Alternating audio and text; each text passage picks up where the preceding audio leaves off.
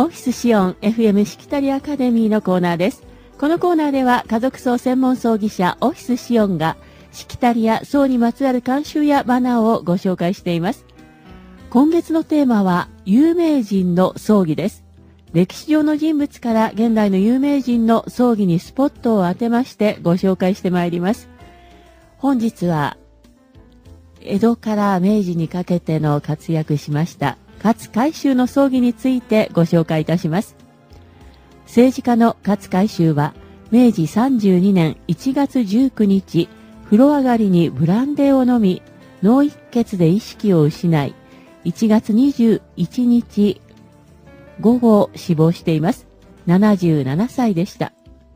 その葬儀は1月25日午前9時に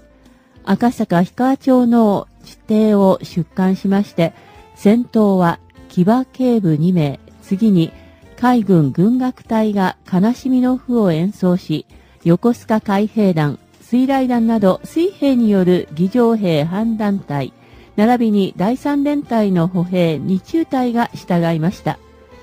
葬列は田町通りを赤坂表町に出て、青山葬儀場へと向かいました。10時55分、棺は海軍楽隊が吹奏します音楽に導かれて青山総裁場に到着し、式は11時50分に終了いてしています。午後1時、棺は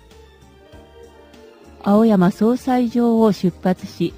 江原馬込村の新墓地に送られました。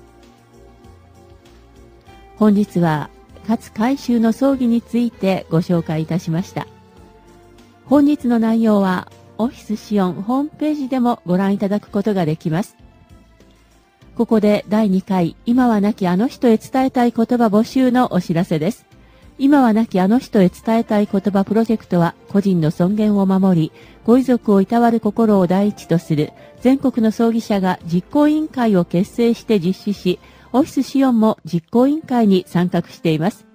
父母、祖父母、先生、友人など、あの人とかつて一緒にいた時に言えなかったこと、思い出やあの人が亡くなった後に伝えたくなったこと、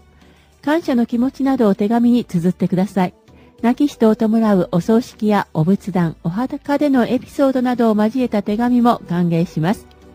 応募規定は400字詰め原稿用紙2枚程度。形式は自由ですが、創作は対象外です。応募作品は出版物として書籍化し、ウェブサイトに掲載いたします。応募された方は応募の時点で作品を公表することに同意されたとみなさせていただきます。締め切りは5月31日必着です。詳しくは今は亡きあの人へ伝えたい言葉で検索、募集サイトをご覧ください。ここオリエント館にもポスター、チラシを置いています。お問い合わせは奈良 .fm へ0742248415 0742248415へお願いいたします。家族葬専門葬儀社オフィスシオンがお送りいたしました。